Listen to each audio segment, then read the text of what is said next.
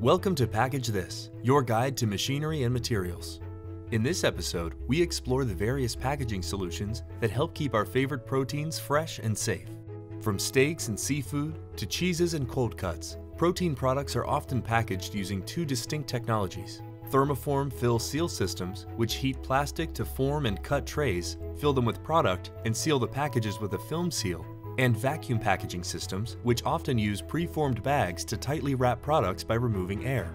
First, let's delve into the thermoforming side and look at foods in trays, packaged on machines like the G. Mondini Platformer and Trave integrated thermosealer from Harpak Ulma. Rigid trays are all over the supermarket, from ground beef and turkey trays to frozen dinners and even fresh foods. Harpak Ulma's platformer handles them all, ensuring optimized forming, perfect cutting automation, reduced waste, and lower environmental impact. Once filled, rigid trays are sealed with a thin plastic liner on top using Trave tray sealers. These sealers handle various packaging formats, including sustainable options, and are easy to clean with their accessible design. Thermoformers like these tray machines can also integrate modified atmosphere packaging, or MAP, and other technologies that help extend shelf life and maintain product quality. Thermoformed flexible vacuum packs also use heat, but in contrast to rigid trays, are formed using plastic that is more flexible than rigid trays. Flexible vacuum packaging is used for a wide range of products, from string cheese and deli meats to cuts of steak as we see here. Harpak Ulma's flexible vacuum pack machine is designed to accommodate various product shapes, offering versatility and sustainability. Harpak Ulma's equipment for flexible vacuum packs features easy-to-use HMIs, simple tool changes, motorized conveyors, and Allen Bradley controls on some models. The stainless steel construction and sloped surfaces ensure excellent sanitation in busy food packaging operations.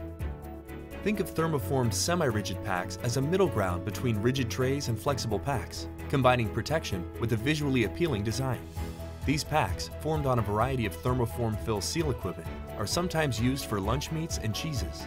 Most often, they have a semi-rigid tray that is slightly bendable and a peelable top film, maintaining product integrity while offering convenience to consumers.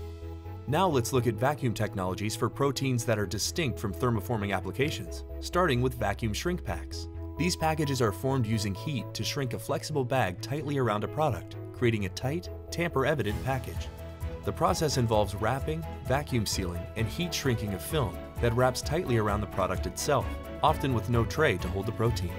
Vacuum shrink packs conform around the shape of the product while providing a strong barrier against contamination for products like pork ribs, steak cuts, and some seafood. Finally, in contrast to vacuum shrink packs, which usually wrap around the protein product with no tray, skin packs most often secure products to a tray with plastic film, creating a tight, vacuum seal for a skin-like appearance. You've seen vacuum skin packs in the supermarket for proteins like bacon, pork loin, and seafood packages showing off the edges of the product inside. Vacuum skin packaging is designed to enhance freshness and protection while focusing on presentation. We hope you enjoyed this overview of the various options for packaging proteins.